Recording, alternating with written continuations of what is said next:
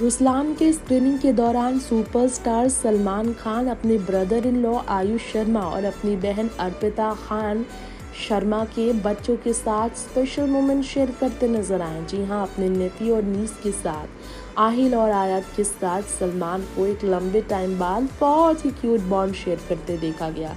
Fatherly bond share कर रहे थे सलमान, अपने नेफ्यू और नीस के साथ। उनके अंदर का पिता वाला रूप पहली बार खुलकर देखने को मिला। फिर से आपको बता दें एक लंबे टाइम बाद, जी हाँ अर्पिता खान के हस्बैंड आयुष ने हिंदी फ़िल्म इंडस्ट्री में 2018 rom com love Yatri next Antim the final truth के ज़रिए डेब्यू किया। और उसके बाद सलमान खान उनको लेकर काफ़ी ज़्यादा ही उम्मीद जताते नज़र आए। 26 अप्रैल को रुस्लान के रिलीज़ की रिपोर्ट्स आई है। इससे पहले आपको बता दें, सलमान ने इस फ़िल्म की स्क्रीनिंग अटेंड की टी शर्ट पेयर किया। उन्होंने पैस्ट जींस के साथ हमेशा की तरह कूल लुक में सलमान नज़र आए। इस मौके पर सलमान खान के साथ उनकी बांजी आयत और भतीज भांजे आहिल भी दिखाई दिए हैं। आहिल काफ़ी बड़े हो गए हैं, ये कहना गलत नहीं होगा।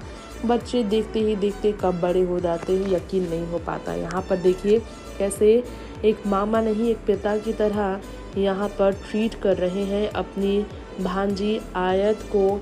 सलमान कितना प्यार करते हैं वो आयत और आहिल से।